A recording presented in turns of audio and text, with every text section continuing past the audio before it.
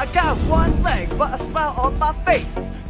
When I upload a video to YouTube, I am probably making enough money to buy an expensive coffee at Starbucks. Hey guys, it's Natalie. Hey guys, welcome back to the Ask World. Hi, What's up, my MBT friends? Josh Sundquist here today. So for me personally, as sort of a content creator, I give motivational speeches. That's my primary income. Because in life, you get as many strikes as you want. My next book comes out in January. I've written books, I do sometimes sponsored posts. I view, as far as financially, my job as sort of an ecosystem of different revenue streams. Thank you, Timo, for sponsoring this trip. Like I said, if you're not selling merchandise, you're leaving money on the table at the end of the day. I sell uh, autism alert cards, which are like these little cards that says like, this person is autistic, has an emergency number on the back of it. This is the top selling product on my site. And stuff like that, it's adding value to someone's life in exchange for a bit of monetization. Today's video is sponsored by Semper. There's brand deals. And now instead of having a random advertiser advertise on your video,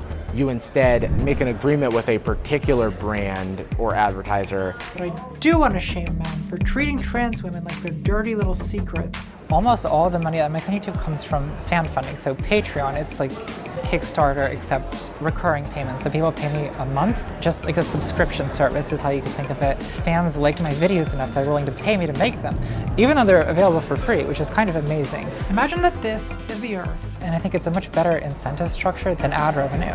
Because if you're making money with ads, you know, your business strategy anyway is going to be put out as much content as possible and get as many clicks as possible. And you don't need to worry about it too much past that. Whereas what I am motivated to do is make content that's good enough that people actually want to pay me for it.